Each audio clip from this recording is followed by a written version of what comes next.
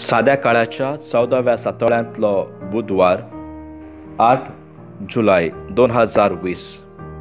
मातेवाचे शुभवर्तमान अध्याय धा ओळ एक ते सात. आपल्या बारा शिसांक आपोवन हाडून जेजून तांकां मेळ्या ओतम्याचेर अधिकार दिलो. आनी मेळे ओतमे काडून आनी सगळ्या जिन्सांचो पिडारोग बरो करूंक तांकां पदवी दिली. मोगाळ इश्टानू आयच्या शुभोर्तमानान जेजू बारा शिसांक आपयता आनी आपयल्या उपरांत तांकां एक ओत्मीक तांकां एक अध्यात्मीक अधिकार दिता अ स्पिरिच्युअल ऑथॉरिटी आनी ह्या अध्यात्मीक अधिकारा वरवीं याज्ञीक याज्ञीकपणान भितर सोदता माखणेच्या वेळार मेवलेली कुरपा आनी पवित्रोत्म्याचे देणे ताचो वापर कोत्ता आनी सगल्यांक बरेपण फिरगोसकारांक बरेपण पिडेवंतांक बरी भलायकी.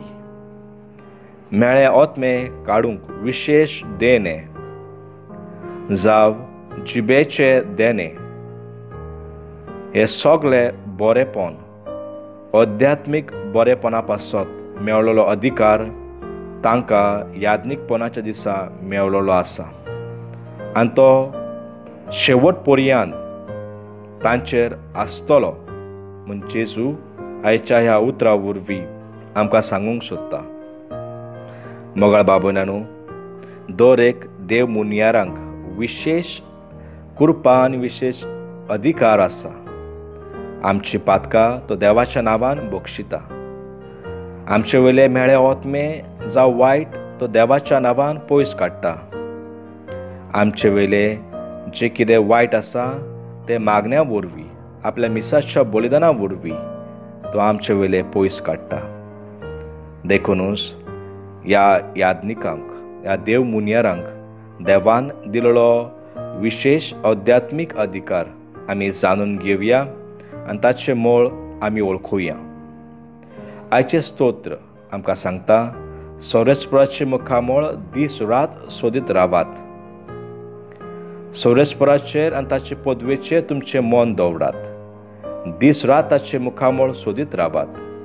ताणें केलेल्या अचोऱ्या विस्मितांचो तांच्या तोंडांतल्या निवड्यांचो उगडास दवरात मोगाळ बाबू नाणू देव आमचीशी येता देवून देवान विचून काडलेल्या मुनियारां वरवीं देव आमकां लागीं आसा व देवाची ओळख आमकां मेळटा ह्याच विचून काडलेल्या ताच्या मुनियारां विशीं. देव भिरांतीन आमी जेवया देवाची आशिर्वादां आमी नियाळया. आनी जो वावर देवान वेचून काडलेल्या मनशा वरवीं आमकां फावो जाता आनी आमचो बाबात घट रावला ताका आमी दिनवासुया.